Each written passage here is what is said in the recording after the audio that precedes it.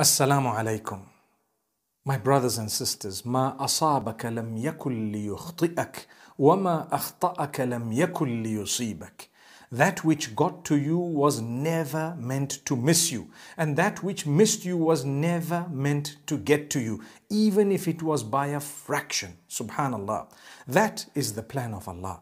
Allah creates a scenario where you will be where He wants you to be in order that you do not miss something. It was planned by Allah, the divine planner. And subhanallah, if Allah did not want you to be somewhere at a certain time, He will create a situation where you will not be at that particular place when something struck. That is the power of Allah. Now, as human beings, we should do whatever we understand to be beneficial to us, either to achieve something beneficial or to protect ourselves from some harm. Allah expects us to do that much. But you need to understand, you call out to Allah constantly for whatever you want.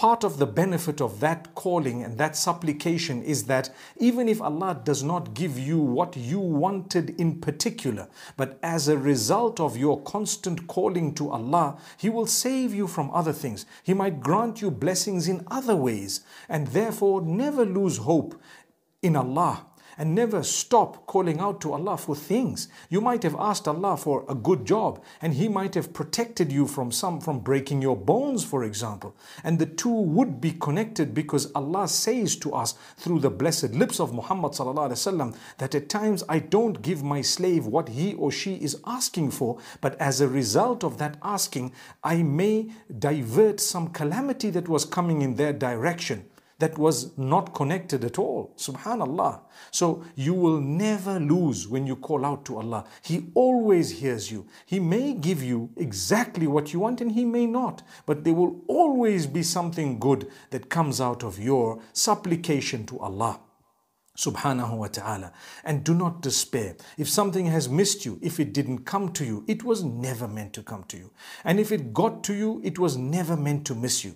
That doesn't mean don't play your role, but it definitely means the Almighty is always in control.